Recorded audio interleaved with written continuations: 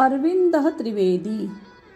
अष्टत्रिंशदधिक एकोनविंशतिशततमे वर्षे नवम्बर् मासस्य अष्टमे दिनाङ्के मध्यप्रदेशस्य इन्दोरनगरे जातः अयं भारतस्य हिन्दीगुजराती चलच्चित्रयोः प्रसिद्धः अभिनेता तथा च प्रसिद्धः राजनीतिज्ञः आसीत्।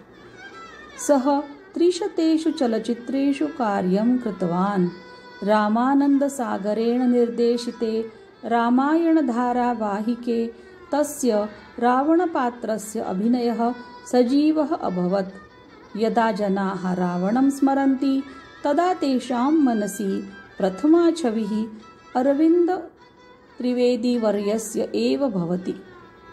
सः न केवलम् अभिनेता अपि तु राजनीतिज्ञः अपि आसीत् एकनवत्यधिक एकोनविंशतिशततमे वर्षे सः गुजरातप्रदेशस्य सावरकण्ठक्षेत्रतः लोकसभायां सांसदः अपि आसीत्।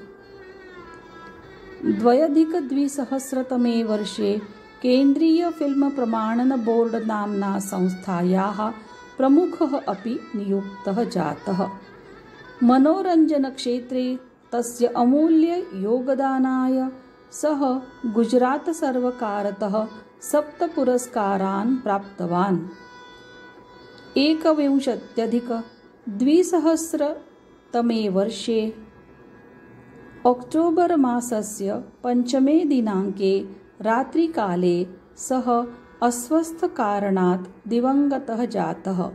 सः अधुना अस्मिन् संसारे नास्ति किन्तु रावणपात्रस्य तस्य अभिनयः चिरकालं जीवितं भविष्यति